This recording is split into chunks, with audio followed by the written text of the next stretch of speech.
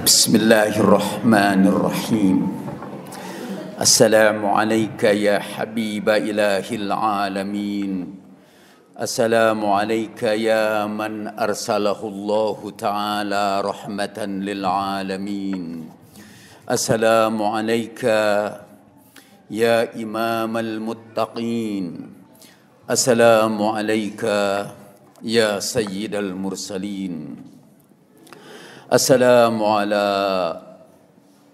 قرة عين رسول رب العالمين السلام على أمير المؤمنين السلام على سيد أي شباب أهل الجنة أجمعين السلام علينا وعلى عباد الله الصالحين السلام عليكم جميعا ورحمة الله وبركاته الحمد لله رب العالمين اللهم صل على سيدنا محمد وعلى آل سيدنا محمد dalam bahasa Arab kata sola itu artinya dua satu solat kalau saya mengucapkan saya sedang solat atau saya mau solat itu kita dalam bahasa Arabnya kita menyebut usolli.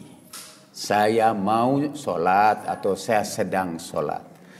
Perintah sholat kalau untuk seorang soli. Kalau untuk banyak orang solu.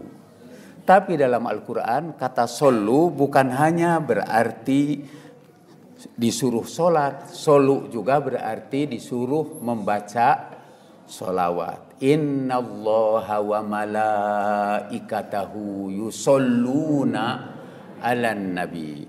Sesungguhnya Allah dan para malaikat membacakan solawat kepada Nabi. Ya ayyuhallazina amanu sallu alaihi wasallimu taslima. Bersalawatlah kepadanya dan ucapkan salam kepadanya. Dengan ucapan salam yang sesungguhnya itu salah satu makna. Muhammad kita ini sebelum azan alhamdulillah di sini juga saya dengar sebelum adzan subuh sering dibacakan innallaha wa malaikatahu yusalluna 'alan nabi. Ya ayyuhallazina amanu sallu 'alaihi وسلموا تسليما اللهم صل على سيدنا محمد وعلى آل سيدنا محمد dalam Al-Quran بسم الله الرحمن الرحيم والليل إذا يغشى والنهار إذا تجلى وما خلق الذكر والأنثى إن سعيكم لشتى فأما من أعطى واتقى وصدق بالحسنى فسنيسره لليسرى dalam sabihisma rabbikal a'la bertasbihlah dengan nama Tuhanmu yang Maha Tinggi. Sabisma rabbikal a'la alladhi khalaq fasawwa walladhi qaddara fahada walladhi akhrajal mar'a faj'alahu gutha'an akhwa. Sanuqri'uka fala tansa, illa ma syaa Allah. Innahu ya'lamul jahru wa ma yakhfa. Wa nuyassiruka lil yusra fadzakir in nafati dzikra. Syadzakaru may yakhsha wa an-narul kubra la yamutu fiha wa la yahya. Qad aflaha man tazakka wa dzakara isma rabbih fasalla berbahagialah orang-orang yang zakat. Dan menyebut nama Tuhannya fasalla pakai fa di situnya. Wa dzakaros marabbihi fasalla. Jadi kalau dia ingat nama Allah, maka ia solat. Kalau diartikan itu solat. Jadi ada orang bertanya kepada Imam Ja'far as-Sadiq salamullahi alaih. Itu cucu Rasulullah. Apakah artinya solat di situ itu solat? Wa dzakaros marabbihi fasalla Berbahagialah orang-orang yang mensucikan dirinya. Siapa yang mensucikan dirinya itu? yang ketika disebut nama Allah langsung ia sholat. Kata Imam Ja'far, berat itu tidak akan ada orang yang bisa melaksanakannya. Kalau disebut nama Allah, fasolla, kemudian dia sholat. Kalau sholat itu diartikan sebagai sholat. Tapi yang dimaksud ialah setiap kali kita menyebut nama Allah, maka selanjutnya kita harus membaca sholawat. Itu tidak berat. Coba kalau Qad aflaha man tazakka berbahagialah orang yang mensucikan dirinya wa dzakarus dan ingat nama Tuhannya fasolla kemudian ia solat berat kita semua tidak akan sanggup itu. Ingat nama Allah langsung solat setiap kali zikir kita sesudah itu solat itu tidak mungkin. Jadi kata solat di situ sama dengan kata sallu alaihi wasallimu taslima. Jadi sebagai tanda kita sebagai orang muslim, kita ketika disebut nama Allah, kita ingat untuk membaca solawat kepada Nabi. Itu anak-anak di sini diperkenalkan pada acara Maulid Nabi itu supaya mereka untuk selanjutnya ini generasi demi generasi akan mengisi masjid ini tanpa kita ketahui. Satu saat ketika saya kampanye, tiba-tiba muncul ada orang dari perkebunan, dia menjadi pemimpin perkebunan dan dia bercerita bahwa dia sering datang ke Masjid Al Munawwaroh. Dulu ketika dia jadi mahasiswa di Unpad.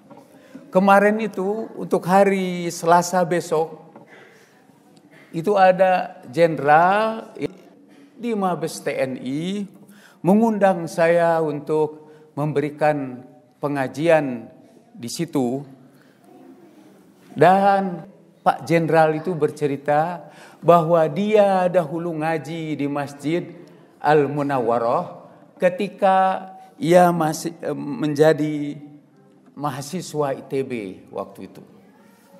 Istrinya jamaah juga di Masjid Al Munawwarah. Dan perlahan-lahan satu generasi demi generasi itu yang saya temui di tempat kampanye saya itu sudah putih seluruhnya rambutnya. Ada sekarang direktur musim gologi itu udah putih rambutnya Bukan hanya rambutnya aja, kumisnya semua udah putih. Dan dulu ngaji juga di Masjid Munawwarah. Nah kita ingin yang melanjutkan tradisi wadhakarus marabbihi fasolla itu bersambung dengan anak-anak kita di sini. Karena kalau kata Iqbal, Iqbal itu Doktor Muhammad Iqbal, bukan Iqbal anak saya. Doktor Muhammad Iqbal dari Pakistan yang menulis buku The Religious Construction, rekonstruksi agama. Dia katanya dalam hari-hari akhirnya, kalau disebut Madinah, berlinang-linang air matanya. Ya Allah, kata, kalau engkau bangkitkan aku di hari kiamah ini, jauhkan dari Al-Mustafa. Jangan dekatkan aku dengan Al-Mustafa. Karena aku malu mengaku sebagai umatnya sementara hidupku bergelimang dosa. Iqbal merasa dia belum cukup memperkenalkan Rasulullah Sallallahu Alaihi Wasallam dan konon entah kenapa sampai akhir hayatnya dia tidak sempat haji karena kesibukannya. Jadi kalau disebut Madinah berlinang-linang air matanya karena di Madinah itu ada menara hijau yang dibalik menara hijau itu dikebumikan Rasulullah Shallallahu Alaihi Wasallam. Kenangannya kepada Rasulullah. Sekarang ini orang modern lucu juga umat-umat Islam yang berada di daerah yang bukan daerah mayoritas Islam, daerah yang minoritas Islam misalnya di Eropa, atau di Amerika. Mereka rindu pada acara-acara maulid ini. Mereka rindu untuk menyampaikan nama Rasulullah di tengah-tengah orang banyak. Maka pada pertandingan di Dortmund, ya, Dortmund itu tahu di Jerman, pokoknya di Eropa udah pasti. Eh, dicek nanti di Google. Di Dortmund ada pertandingan sepak bola. Stadion penuh sesak. Tiba-tiba pada waktu istirahat atau pada satu kemenangan satu jurusan, tiba-tiba dari jauh ada konfigurasi penonton itu dengan mungkin dengan bendera atau dengan kain. Dari jauh penonton-penonton di situ menyampaikan ya habibi ya Rasulullah dan kemudian terdengar suara bersama-sama Tola'al badru alaina min thaniyatil wada'i Saya terharu juga menyaksikan itu Mereka ingin memperkenalkan nama Rasulullah Sallallahu alaihi wasallam Di tengah-tengah orang dalam tanda petik orang kafir mereka ingin memperkenalkan nama Rasulullah. Masih kata Dr. Muhammad Iqbal, kebanggaan kita hanya nama dia. Yaitu hanya nama Rasulullah yang menjadi kebanggaan kita. Yang ingin kita perkenalkan kepada seluruh dunia. Kemarin itu ada pertandingan tinju kelas ringan. Tapi tinjunya tinju bercampur, mixed. Eh, gaya bercampur. Di Amerika. Pemenangnya namanya Habib Nurmagomedov. Tapi sekarang kejuaraannya itu ditahan. Uang hadiahnya juga ditahan oleh panitia. Karena tiba-tiba setelah dia jadi juara, dia mendengar umpatan dan cacian. Sudah sering dia diejek. Biasalah untuk menjatuhkan mental. Ini udah menang juga, dia masih diejek-ejek dan dia bertahan. Sampai satu saat orang itu mengejek itu bukan hanya mengejek Islam, dia mengejek nama Rasulullah Shallallahu Alaihi Wasallam. Ini singa dari Dagestan itu meloncat dari panggungnya, dia kejar orang yang menghina Rasulullah itu. Dan akibatnya pertandingan tinjunya ada yang diharapkan diulangi kembali. Duitnya ditahan. Bapaknya marah-marah, kamu kurang sabar dan dia berkata dalam wawancara ke wartawan, dia sudah menghina agamaku, kata dia. Dan aku tidak tahan lagi. Dan itu terjadi di bulan maulid sekarang ini. Mungkin seminggu yang lalu. Jagoan ini tahan dipukul dengan bantingan mungkin. Ditabrak truk juga kayaknya dia tahan. Karena tubuhnya besar. Tapi dia tidak tahan kalau nama Rasulullah Sallallahu Alaihi Wasallam. Al-Quran sudah menjanjikan bahwa nama Rasulullah itu akan ditinggikan. Bismillahirrahmanirrahim. Alam nasrah laka sadrak wa wada'na anka alladhi anqadha dhahrak wa rafa'na laka dhikrak. Kami akan angkat namamu. Kami tinggikan namamu. Itu sudah janji Allah Subhanahu wa taala. Orang boleh menghina Rasulullah. Malah sekarang banyak orang barat menulis tentang kebohongan Rasulullah. Bahwa Rasulullah itu tokoh teroris yang pertama. Tapi namanya akan tetap semakin harum. Warofa'na laka Dan kita juga mempunyai kewajiban untuk senantiasa mengharumkan nama Rasulullah Sallallahu Alaihi Wasallam. Yang paling mudah mengharumkan nama Rasulullah itu supaya tidak dilupakan ialah memperingati Maulid Nabi Sallallahu Alaihi Wasallam. Al-Quran menyuruh kita memperingati para nabi itu. Bismillahirrahmanirrahim. Kafha ya Ain Sad Zikru rahmati rabbika abdahu Zakaria. Peringatilah kasih sayang Allah kepada hambanya yang bernama Zakaria. Waktu itu Zakaria berdoa kepada Allah, Ya Allah ini sudah rapuh tulangku, sudah penuh uban kepalaku, dan istriku mandul, berilah kepadaku seorang anak. Itu disuruh diperingati berita ketika Allah memberitahukan kepada Zakaria bahwa ia akan punya anak yang namanya Yahya. Begitu turun ayat, Yahya keluar, Allah memerintahkan kepada Nabi Zakaria supaya menyampaikan kepada anaknya ya Yahya khudhil kitaba biquwwah wa atainahul hukma sabiyya Kemudian setelah itu Allah berkata wadhkur fil kitabi Maryam dan peringatilah dalam Alkitab tentang Maryam. Yang dimaksud bukan memperingati Maryamnya, tapi memperingati kelahiran Nabi Isa alaihi salam. Sekarang sudah tidak ada lagi yang memperingati kelahiran Nabi Yahya. Karena kita juga tidak tahu kapan lahirnya.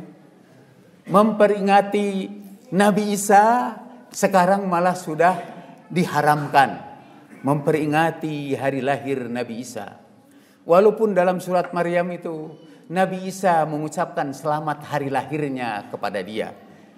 Nabi Isa berkata, Salamun alayya yauma ulittu. Selamat bagiku pada hari aku dilahirkan. Itu dicontohkan dalam Al-Quran. Jadi apa yang diajarkan oleh Al-Quran itu harusnya kita jalankan. Saya tidak tahu yang mengharamkan mengucapkan selamat hari Natal itu dalilnya apa. Kalau ada bapak-bapak yang tahu tolong beritahu sama saya. Kalau Allah mencontohkan, lihat itu Nabi Isa sendiri mengucapkan salam. Salamun alayya yauma wulidtu. Salam bagiku pada hari aku lahir. Wulid lahir itu dalam bahasa Latinnya Natal. Hari itu disebut dies. Hari Natal disebut dalam bahasa Latin dies natalis. Makanya ada hari lahirnya universitas masih pakai bahasa Latin dies natalis. Jadi sebetulnya orang yang pertama mengucapkan selamat hari Natal ialah Nabi Isa alaihissalam sendiri. Salamun alayya yauma wulidtu. Salam bagiku pada hari aku dilahirkan. Kita memang harus memperingati para tokoh-tokoh suci itu, para penyebar kebenaran, para contoh teladan, teladan-teladan agung sepanjang sejarah. Misi kita sekarang ini ialah memberikan beberapa contoh teladan dari Rasulullah Shallallahu Alaihi Wasallam. Seperti apa sih Rasulullah Shallallahu Alaihi Wasallam dan orang berdatangan setelah Rasulullah meninggal dunia dari Syam, kalau sekarang itu masuknya Irak, Syria, Yordania, itu berdatangan orang dari luar kota Mekah ingin tahu siapa Rasulullah Shallallahu Alaihi Wasallam itu. Mereka datang kepada istrinya yaitu Aisyah yang masih hidup waktu itu. Akhbiri ini katanya Ya ammati, ada yang menyebut, duhai bibiku, ada yang menyebut, ya ummi, karena Siti Aisyah itu adalah ummahatul mukminin, ibunya kaum mukminin. Bagaimana keadaan Rasulullah itu dulu? Dan Aisyah mungkin setelah menarik nafas panjang dalam kerinduannya kepada Rasulullah Shallallahu Alaihi Wasallam. Katanya pada akhir hayatnya, Kerudung Aisyah itu basah selalu dengan air matanya. Karena ia mengenang uh, pernah meninggalkan perintah Rasulullah dan perintah Al-Quran untuk waqarna fi buyutikunna wala tabarujna tabarrujal jahiliyatil ula.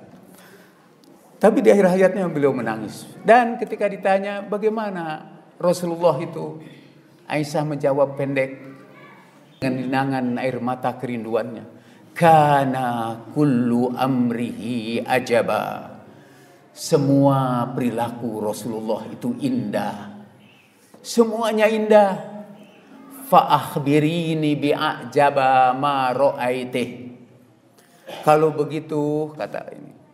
Yang tanya itu seorang sahabat yang namanya Urwah bin Zubair yang memang pernah bibi kepada Aisyah. Dia putra Zubair. Urwah bertanya, "Fa-akhbirini bi ajaba ma ra'aitih." Kalau begitu beritakan kepada aku apa yang paling indah dari tingkah laku Rasulullah yang pernah kau alami. Lalu Aisyah berkata, satu malam ia membangunkan aku. Dan ia berkata, "Ya Aisyah, i'zanili an ta'abbada rabbi. Hei Aisyah izinkan aku untuk beribadah kepada Tuhanku. Beliau untuk sholat tahajud meminta izin istrinya. Siapa yang tidak mengatakan itu yang paling indah karena dalam meminta izin kepada istrinya di situ tersimpan cinta dan penghormatan dia minta izin kepada istrinya untuk sholat malam. Izanili an ata'abbada rabbi. Lalu kata Aisyah, uhibbu kurbak. Aku senang kau di dekatku. Wa uhibbu ibadata rabbik. Dan aku senang juga engkau beribadah kepada Tuhanmu. Pada saat yang lain orang datang lagi kepada Aisyah. Ibu kata ya ummal mukminin wahai ibu kaum mukminin ceritakan kepada aku tentang Rasulullah. Akhlak Rasulullah aja. Bagaimana akhlak Rasulullah itu kata Aisyah? Kana khuluquhul Quran. Akhlaknya itu Al-Quran. Jadi kalau kamu ingin melihat akhlak Rasulullah, akhlaknya itu Al-Quran. Tapi kan orang bingung Al-Quran itu tebal. Yang mana itu akhlak Rasulullah? Kata mereka, kata Aisyah. Akhlak Rasulullah itu, apakah kamu pernah membaca Qad aflahal mu'minun. Ya saya membaca itu. Itulah akhlak Rasulullah.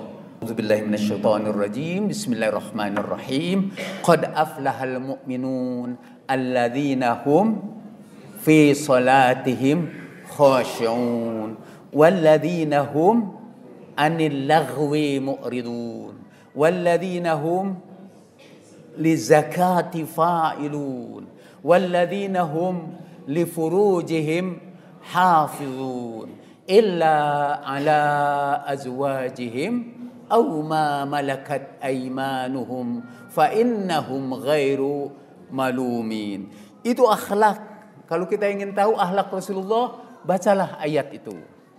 Dia adalah orang yang sama sifatnya dengan seluruh kaum mukminin yang akan berbahagia di dunia dan di akhirat, yaitu yang solatnya khusyuk, yang dia tidak mau berbicara yang tidak perlu, atau menghindari perbuatan yang tidak perlu, dan dia yang mengerjakan zakatnya, dan dia yang memelihara kehormatannya kecuali kepada istrinya atau budak-budak yang ada dalam tanggungannya dan seterusnya. Jadi Aisyah bercerita dengan menunjuk kepada Al-Qur'an. Pada zaman Umar bin Khattab ada orang datang kepadanya. Ya Amiral Mukminin, ceritakan kepada kami tentang Rasulullah. Kata Umar bin Khattab, tanya Bilal. Dia itu paling dekat dengan Rasulullah Shallallahu Alaihi Wasallam. Bilal memang sangat mencintai Rasulullah. Beliau muazin Rasulullah. Setelah Rasulullah wafat, Bilal itu tidak azan lagi. Malah dia berangkat ke Syria. Sampai sekarang kuburan Bilal itu di Damaskus. Jadi kalau bapak-bapak yang mau umroh atau ziarah, Coba dong sekali-kali ziarah itu ke Syria. Ini yang ziarah itu kemarin ada yang ziarah itu ke Masjidil Aqsa, ke Ashabul Kahfi di Yordan, terus ke Masjidil Aqsa, terus ke Mesir. Di Mesir yang dia ziarahi ialah kuburan Firaun. Namanya piramid, situ selfie-selfie malah bahwa dia termasuk pengikut Fir'aun. Astagfirullah.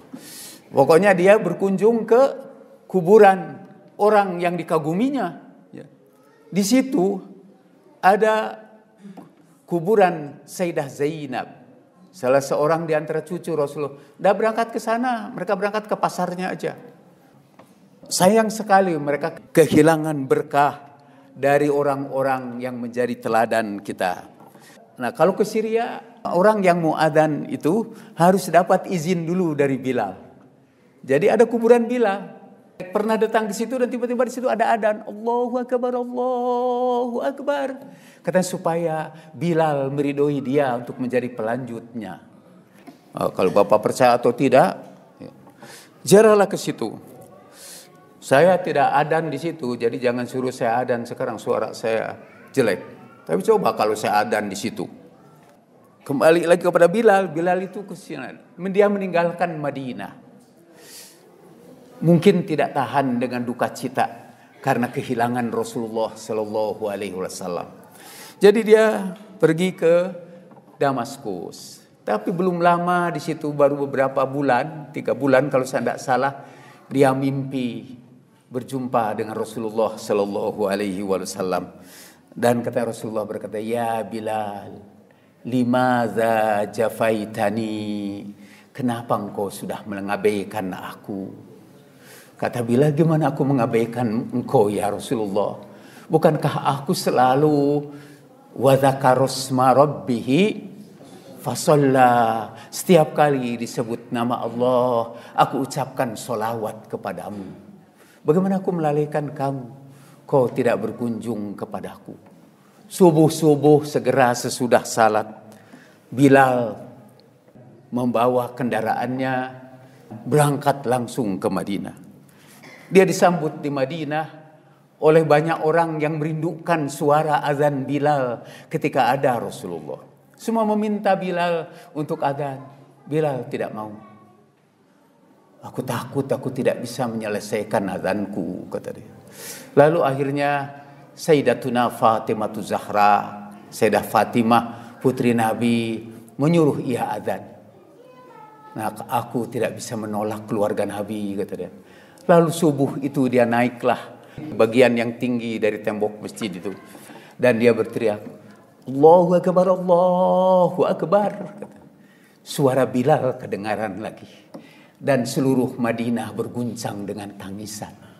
Mereka mengenang bahwa azan itu memang azannya di zaman Rasulullah Sallallahu Alaihi Wasallam.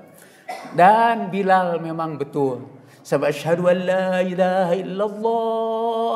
Nah sampai asyhadu anna Muhammad.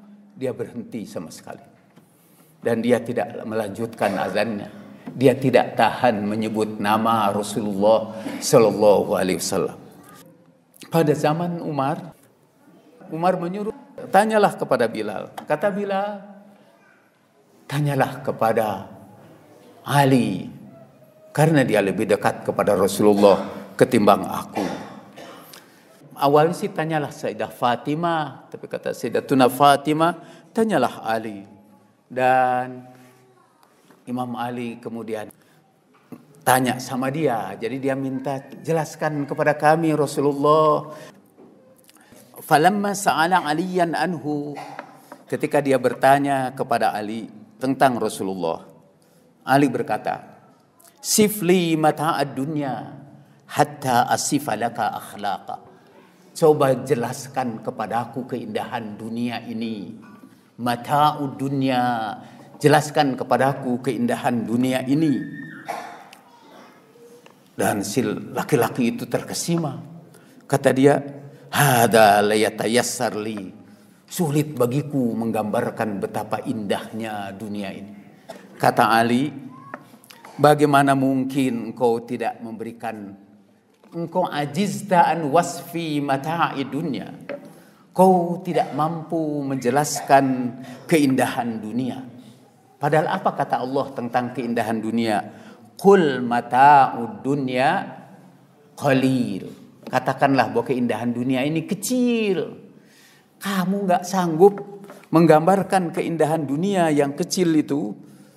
Bagaimana mungkin aku sanggup menggambarkan akhlak Rasulullah ya sallallahu alaihi wa wasallam yang di dalam Al-Qur'an disebutkan wa innaka la'ala khuluqin azim sesungguhnya akhlak kamu ini sangat agung di atas seluruh keagungan wa innaka la'ala khuluqin azim sungguh engkau berada di atas semua akhlak yang agung itu itu masih di atasnya lagi walaupun begitu Imam Ali menyampaikan akhlak Nabi. Saya akan bacakan terjemahnya saja. Atau saya baca karena indah juga dalam bahasa Arabnya. Imam Ali berkata, Kana ajwadan nasi kaffan وأجرأ الناس صدرا وأصدق الناس لهجة وأوفاهم ذمة وألينهم عريكة وأكرمهم عشرة ومن رآه بديهة هابه ومن خالطه فعرفه أحبه ولم أرى مثله قبله ولا بعده Ucapan Imam Ali itu memang mirip puisi. Dialah orang yang telapak tangannya paling dermawan. Dialah orang yang dadanya paling lapang. Dialah orang yang lidahnya paling benar.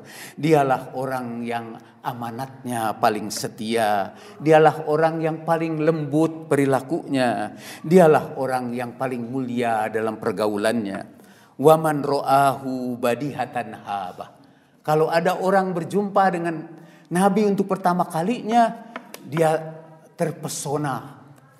Dia ada bahasa Inggrisnya yang bagus, flabbergasted. Terkesima. Jadi kalau orang berjumpa dengan Nabi, terkesima. Sampai ada orang berjumpa dengan Nabi, diberitahu dia Nabi. Dia menggigil ketakutan. Kata Nabi menepuk-nepuk bahunya. Tenang aja kata Nabi. Aku ini manusia biasa juga suka makan daging dendeng kata Nabi. Ya. Menceritakan bahwa aku tidak makan batu. Tidak usah takut aku makan. Kadi aku makan daging juga katanya itu. Orang yang pertama kali melihatnya terkesima. Habah. Jadi ada wibawa yang luar biasa. Waman kholatohu. Tapi kalau sudah bergaul dengan Nabi. Fa'arofahu dan mengenal Nabi. Ahabbahu ia penuh cinta kepadanya. Aku belum pernah melihat orang seperti dia sebelumnya dan sesudahnya. Lam aro mithlah qablah wala ba'da. Kita sebenarnya tidak tahu ahlak Rasulullah kecuali melalui para sahabat Nabi yang mulia yang menceritakan tentang Rasulullah Shallallahu Alaihi Wasallam. Yang saya bacakan ini hadis-hadis dari Jarir bin Abdullah أن النبي صلى الله عليه وآله دخل بعض بيوته فامتلأ البيت يبدو أنها كانت وليمة أو أرسا كأنها كانت وليمة أو عرش Satu hari Nabi masuk di antara rumah-rumah Nabi. Waktu itu penuh rumah Nabi itu. Mungkin sedang ada walimah atau ada acara pengantin. Rumah Nabi itu penuh. Wadakhala jarir. Faqa'ada kharijal bait. Jarir itu datang dan dia duduk di luar rumah. Karena tidak kebagian tempat duduknya itu.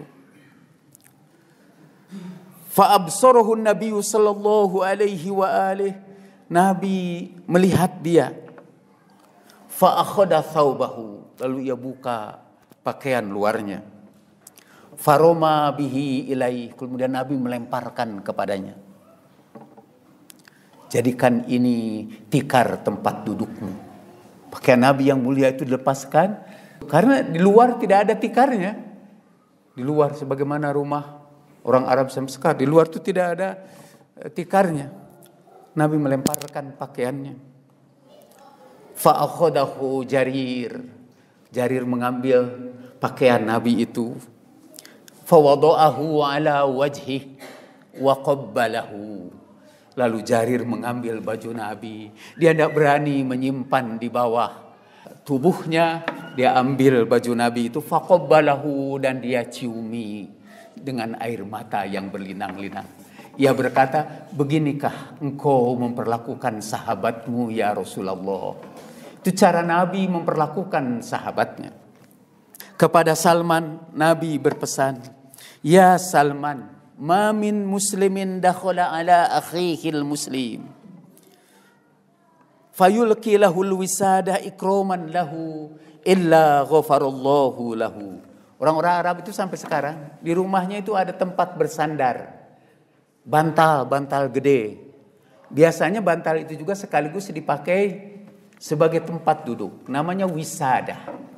Kalau ada seorang muslim bertamu kepada seorang muslim lainnya, kemudian ia melemparkan bantalan itu untuk tempat duduknya, untuk memuliakan dia sebagai tamu, Allah akan ampuni segala kesalahannya. Jadi memberikan penghormatan kepada tamu, Allah ampuni segala kesalahan. Saya ingin Allah mengampuni kesalahan saya. Jadi kalau ada tamu-tamu saya, saya sering tawari. Mau dibuatkan kopi, biar saya bikinkan kopi sendiri. Ya. Tapi mereka tidak mengizinkan saya untuk diampuni Allah. Karena saya juga udah berpikir, banyak di antara mereka memang yang tidak suka kopi. Kalau yang kira-kira suka kopi, emang tidak saya tawarin. Memberikan penghormatan kepada tamu itu mendatangkan ampunan Allah Subhanahu wa taala. Kata Nabi Shallallahu alaihi wasallam, kalau ada tamu datang ke rumahmu, kalau tamu datang ke rumahmu, kemudian dia pergi, dia tinggalkan rezeki kepada kamu dan dia bawa dosa-dosa kamu. Maksudnya dosa-dosanya diampuni karena kedatangannya dan rizkinya akan berlimpah datang kepadanya.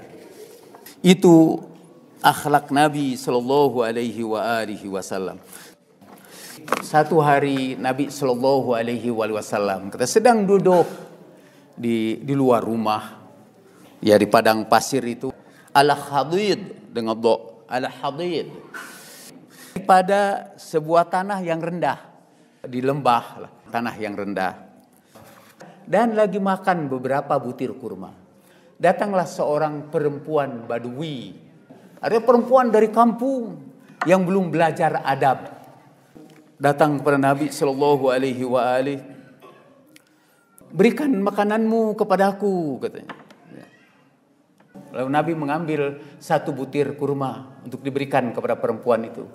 Kata dia, tidak, saya minta kurma fi fammika. Saya minta kurma yang kau makan yang sudah ada dalam mulutmu. Rasulullah dengan tersenyum. Nabi itu terkenal kalau di dalam hadis-hadis yang saya baca bukan seperti ustadz-ustadz yang menakutkan. Nabi itu selalu tersenyum. Karena Nabi sallallahu alaihi wa dohakan bersama. Nabi itu banyak tertawa dan banyak tersenyum. Tugas kita, saya sering berkata, pada anak-anak mutahari menyebarkan senyuman sang Nabi. Karena Nabi itu tersenyum gitu.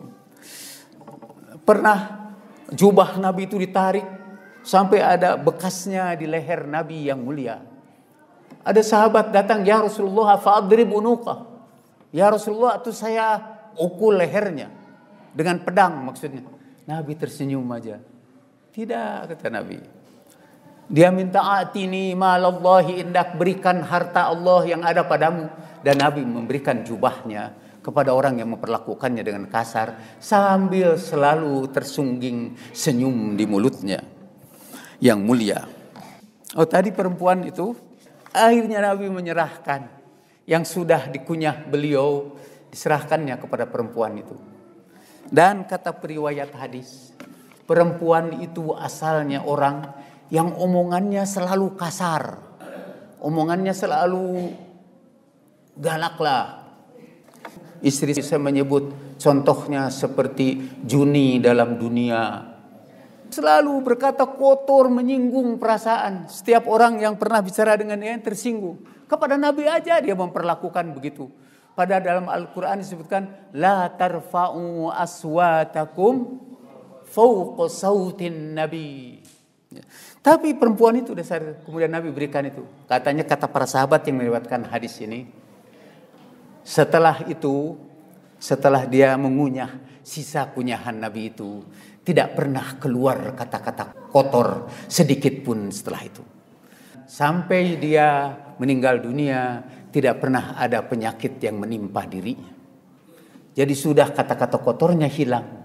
Berkah kurma yang pernah dikunyah Nabi Shallallahu Alaihi Wasallam. Sekarang pedagang kurma di Mekah semuanya mengaku kurmanya itu kurma Nabi. Ini ajwa, ini kurma Nabi. Kata pedagang ambar, enggak kurma Nabi ini ini ambar. Ada macam-macam kurma dan seluruh pedagang kurma mengatakan ini kurma Nabi dan mungkin itu benar. Nabi memakan memang berbagai jenis kurma. Ini contoh ini menunjukkan bahwa ada berkah emang yang datang bukan saja dari ajaran Nabi tapi dari jasad Nabi yang mulia. Dari ludah Nabi yang mulia. Kalau saudara tidak percaya dengan berkah itu, saudara tidak percaya kepada hadis yang diriwayatkan dalam Sahih Bukhari. Ketika menjelang perang Khaybar, menjelang perang Khaybar dalam Sahih Bukhari, satu pasukan menyerang benteng Yahudi, benteng Khaybar itu. Tapi gagal diusir. Ditunjuk lagi sahabat yang lain menyerang itu gagal lagi, diusir lagi. Lalu pada hari yang kedua itu kata Rasulullah, besok akan aku berikan bendera ini kepada seseorang yang Allah dan Rasulnya mencintainya dan dia mencintai Allah dan Rasulnya. Dan Allah akan berikan kemenangan lewat tangannya. Al-Qarar, Karar, dia yang selalu menyerang dan tidak faror, tidak melarikan diri. Dia yang selalu menyerbu dan tidak faror. Ini hadis ini diriwayatkan juga dari Umar bin Khattab di dalam Sahih Bukhari. Kata Umar, saya menunggu mudah-mudahan nama saya itu yang disebut.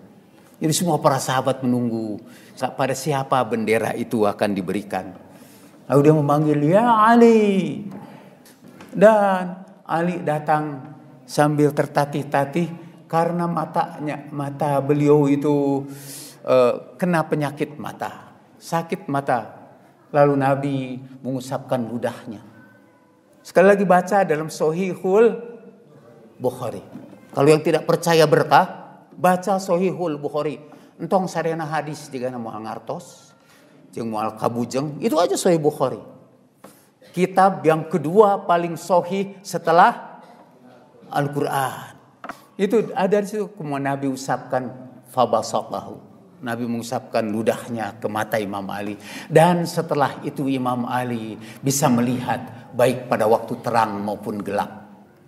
Karena uh, ludah uh, beliau. Dan itu dipercayai oleh orang-orang Arab waktu itu. Jadi pada suatu hari Rasulullah Shallallahu Alaihi Wasallam didekati oleh seorang perempuan dan perempuan itu pegang ini ujung baju Rasulullah. Ujung baju Rasul dipegang, tapi setelah itu dilepaskan lagi, tidak ngomong apa-apa. Pada hari yang kedua dia menemui Rasulullah pegang lagi ujungnya ditariknya, setelah itu dilepaskan. Nabi tidak ngomong kepadanya, Nabi tidak berkata kepadanya dan dia juga tidak ngomong sama Nabi. Sampai hari yang ketiga, begitu juga. Nah hari keempat dia datang lagi, pegang lagi ujung ini. Kemudian Nabi melepaskan satu sobekan dari bajunya dan diberikan kepadanya. Para sahabat bertanya kepada perempuan itu, kamu ini apaan? Udah tiga kali mendatangi Rasulullah, kamu tidak ngomong apa-apa dan Rasulullah tidak berkata apa-apa kepadamu. Apa yang terjadi? Apa yang terjadi perempuan itu berkata, aku ini emang diutus oleh keluargaku. Ada keluargaku sakit dan mereka meminta ambillah satu sobekan dari baju Rasulullah.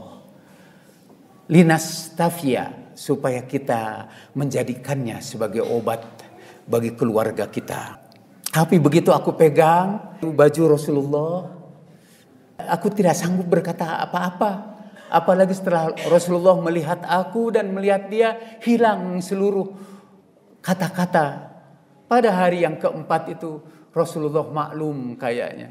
Jadi beliau tanpa aku berkata apa-apa Rasulullah memahami keperluanku. Itu ibu-ibu bisa baca, bapak-bapak bisa baca dalam kitab Sirah Ibnu Hisham.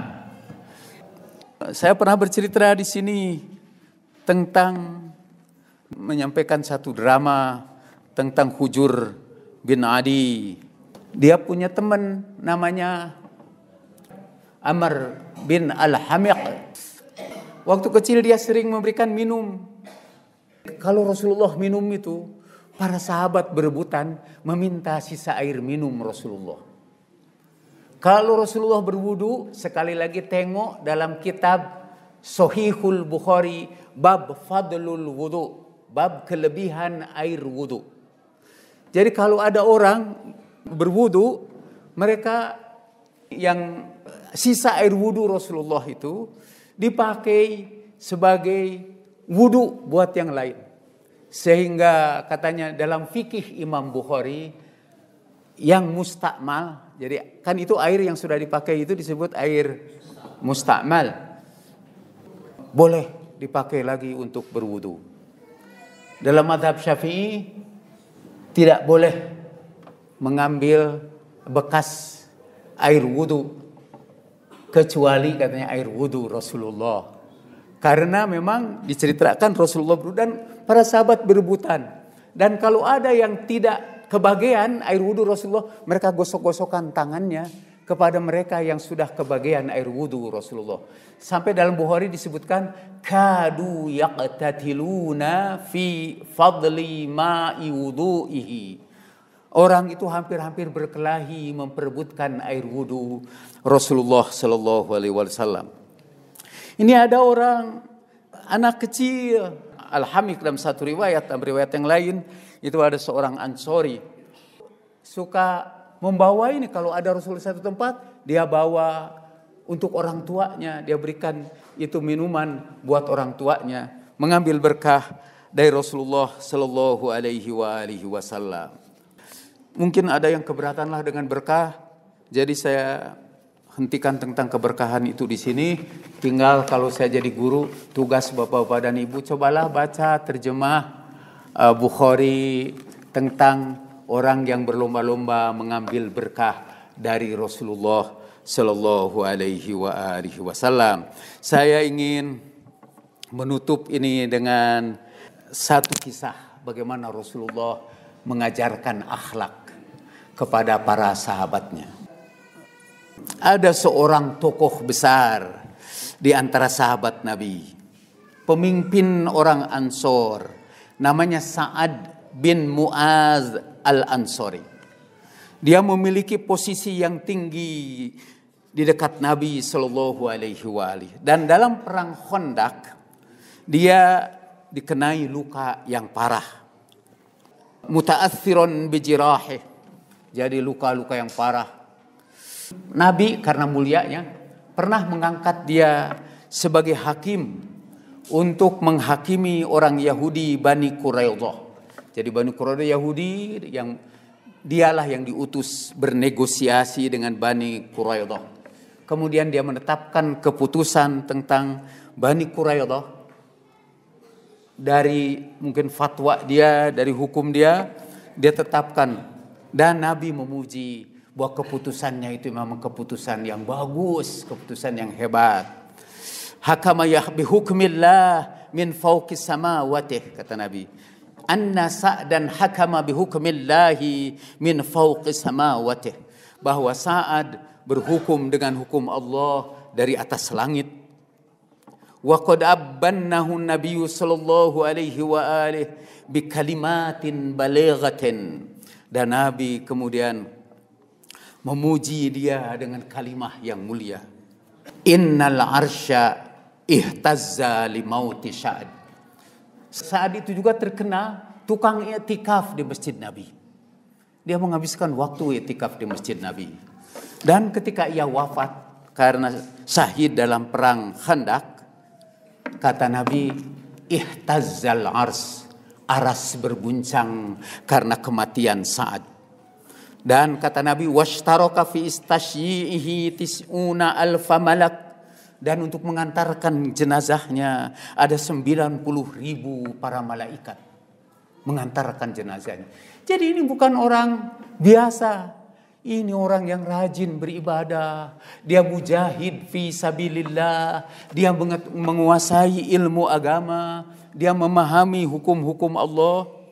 Dan wa kharaja Rasulullah sallallahu alaihi wa alihi yamshi khalfa janazatihi hafiyan bighairi rida'in ya'khudhu ala yamini sarirah wa ala yasarihi al-ukhra dan itu Rasulullah mengantarkan jenazahnya dengan telanjang kaki dan tidak pakai serban untuk menghormati uh, saat Beliau memikul sebelah kanan kerandanya, sebelah kiri kerandanya. Sampai kepada kuburan. Dan sampai di kuburan anzalahul qabra wa sawwa labanatihi binafsih. Rasulullah turun ke kuburannya dan itu bebatuannya beliau ratakan. Beliau ratakan batuan itu untuk menghormati kemuliaan manzilatahul azimah untuk menghormati kedudukannya yang mulia. Lama anzalahul qabra. Ketika Rasulullah sudah di dalam kuburannya, Rasulullah berkata, laqad asobat sa'dan dhammatun wa dzalika lisu'in fi akhlaqihi ma'a ahlihi. Kata Rasulullah, tapi saat di alam kuburnya mengalami kesempitan karena ketika hidupnya ia memperlakukan istrinya dengan buruk. Itu dia mujahid fisabilillah. Dia itikaf di Masjid Nabawi. Tapi dalam kuburan Allah sempitkan kuburannya. Artinya amal-amalnya dihargai. Tetapi dia harus bertanggung jawab karena dia memperlakukan istrinya dengan cara yang tidak baik. Ini Rasulullah sebenarnya lagi mengajarkan akhlak kepada semua suami untuk memperlakukan istrinya dengan sebaik-baiknya. Rasulullah juga bersabda, barang siapa yang ingin dipanjangkan usianya, hendaklah dia memperlakukan keluarganya dengan perlakuan yang sebaik-baiknya. Ma akroma nisa illa karim wa ma ahanahunna illa laim. Tidak akan pernah memuliakan perempuan kecuali lelaki yang mulia dan tidak pernah menghinakan perempuan kecuali lelaki yang hina juga. Itu Rasulullah mengajarkan kalau sekarang disebutnya keluarga mawadah dan sakinah. Saya tidak akan meneruskan nasihat untuk para ibu. Karena ibu-ibu punya pengajian khusus setiap Jumat. Mungkin sudah kenyang di pasihan. Piwajang ke para ustadznya untuk memperlakukan suami dengan sebaik-baiknya. Tapi supaya adil saya menutup dengan sebuah riwayat dari Nabi. Jadi ada orang datang dari jauh, mungkin dia dari Romawi atau dari Persia. Dia datang ke Madinah, sahabat Nabi. Tiba-tiba datang ke Madinah, langsung dia bersimpuh di kaki Nabi. Oleh Nabi diangkat. Jangan begitu, tapi ya Rasulullah, saya lihat di sana itu orang mencium kaki pemimpin mereka. Raja mereka itu, mereka bersujud di kaki rajanya. Lalu kata Nabi, kalau aku mau memerintahkan orang bersujud kepada orang lagi, aku akan perintahkan semua istri untuk bersujud di kaki suaminya karena banyaknya hak suami terhadap dirinya. Jadi untuk ibu-ibu cukuplah itu satu hadis saja dan untuk bapak-bapak kenanglah Sa'ad bin Muaz.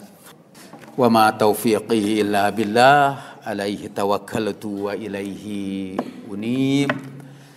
Assalamualaikum warahmatullahi wabarakatuh.